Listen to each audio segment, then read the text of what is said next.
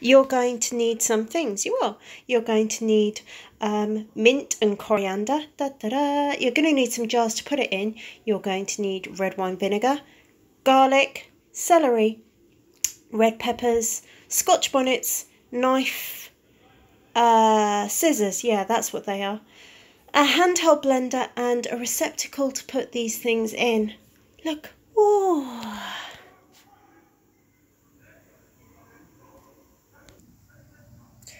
Put some garlic and some of the peppers into the receptacle like that. Add some chopped up celery. Add some coriander. Add some mint. Oh, I didn't say wash the herbs, but I'm guessing you're washing the herbs because, you know, just give them a bit of a rinse and then dry them off.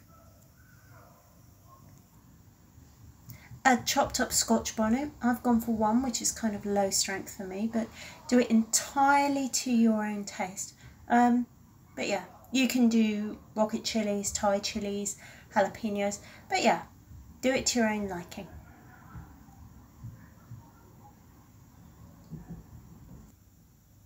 Then you add red wine vinegar. I didn't mean to go for organic, but that's all I could find. I know, life's a struggle.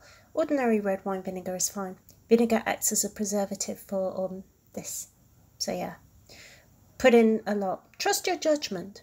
I've never measured it, but yeah, I'm going to trust you to measure it out for your own taste and liking. Time for the handheld blender. Blend it.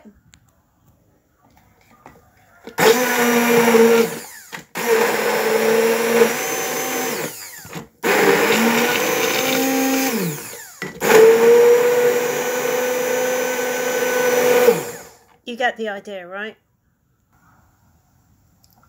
Then, you know, it's like this after a little while, yeah.